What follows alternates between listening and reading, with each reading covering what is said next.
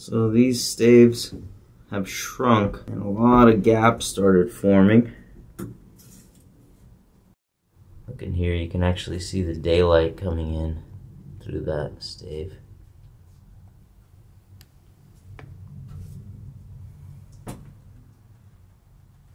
See, I didn't finish any of the door. I still need to like put some sort of trim around it or something.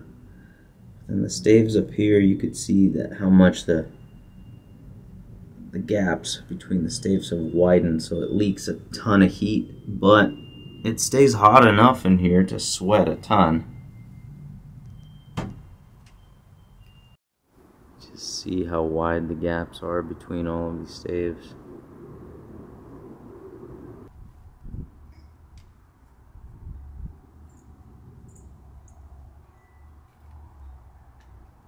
With the rain, it really doesn't leak very much. There has been a little bit of water come in, but not a ton.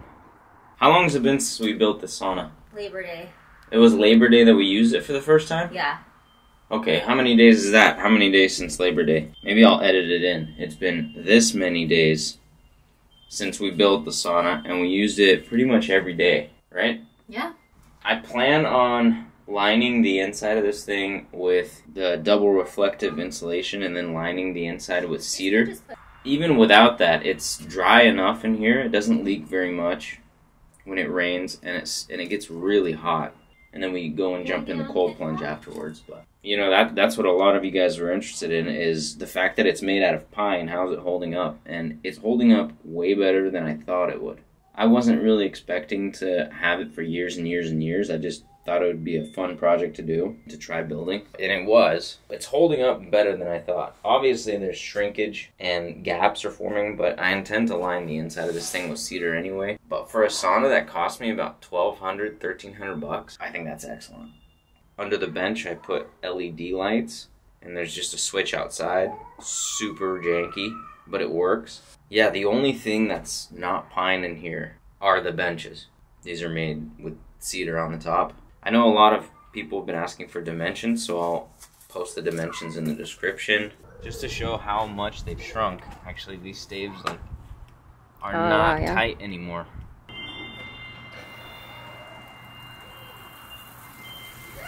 What else do you want?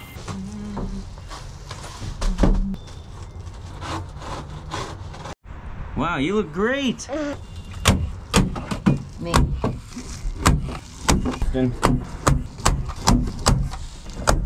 Very.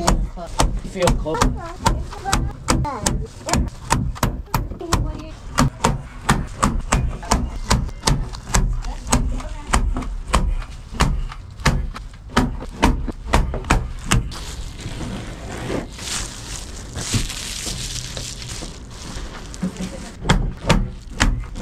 Oh yeah. Looking like a spaceship. Or we can grow weed in here.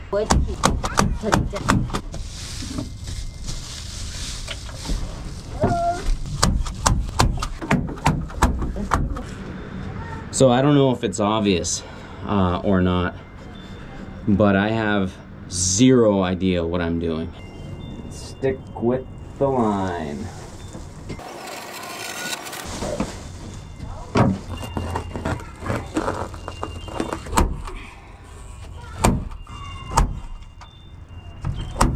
Bet you the perspective is so screwed up on this, you probably can't figure out what I'm doing. Never actually recorded any of that. Dude, the video stops by itself. What the heck is going on here? Never recorded it, but this is what I did here. I cut around the flashing or whatever you want to call it that I have on the ceiling.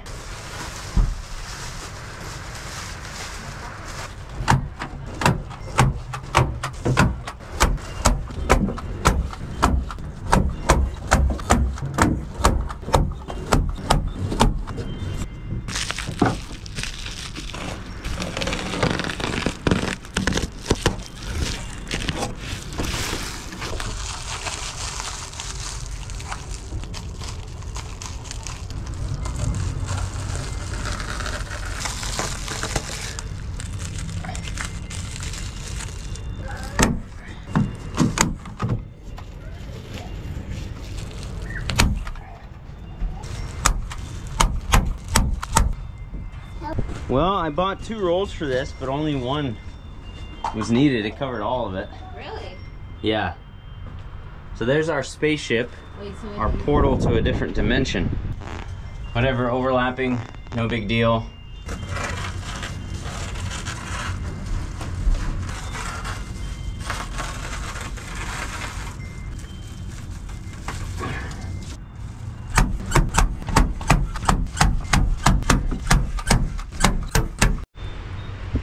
Well, that should do it. Now we gotta start putting all the cedar in. So here's all the cedar that I found on the discount rack at Home Depot.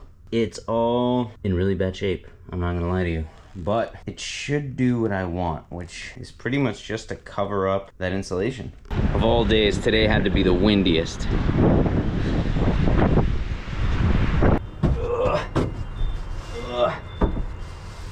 Splinters in my shoulder.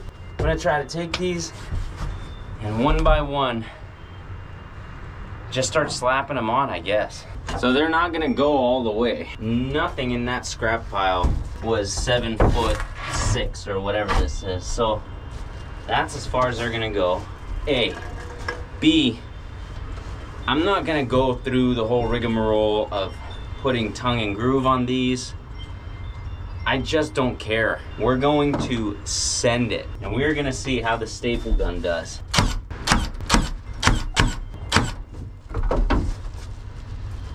I don't know, but that looks flipping good to me. I don't care what anyone says. I just want to sweat. Man, now I'm thinking, do I actually care about the gaps?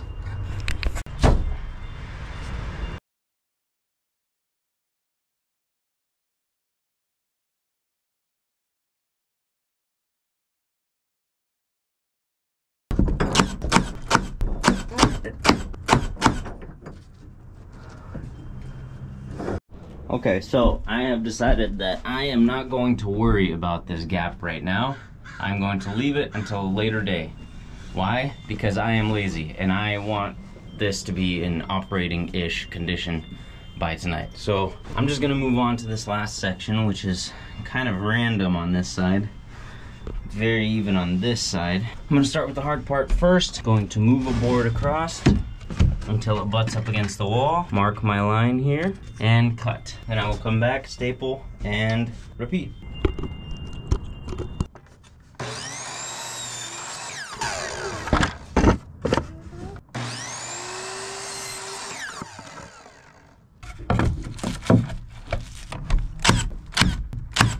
All right.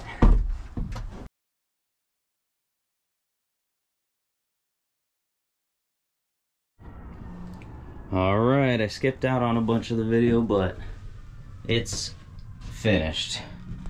And I'm not gonna lie to you, she is not pretty. I mean, we got one missing on top, and then this is all patched together. But it works. I figured on a square rectangle around the chimney flue, whatever you call it, pipe, chimney. But it's insulated now and it smells super good. So, even though we're missing one on top, we're gonna fire it up and see how the difference is. Sweet.